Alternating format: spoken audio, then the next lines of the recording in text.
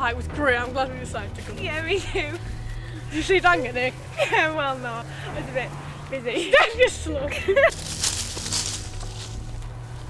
Oh, Told you we shouldn't have come this way. Have you heard the stories? yeah, well, we've taken twice as long to go around and it's freezing tonight. Yeah, I suppose, but Okay, so maybe it is a bit creepy in here. aye. Let's just walk fast.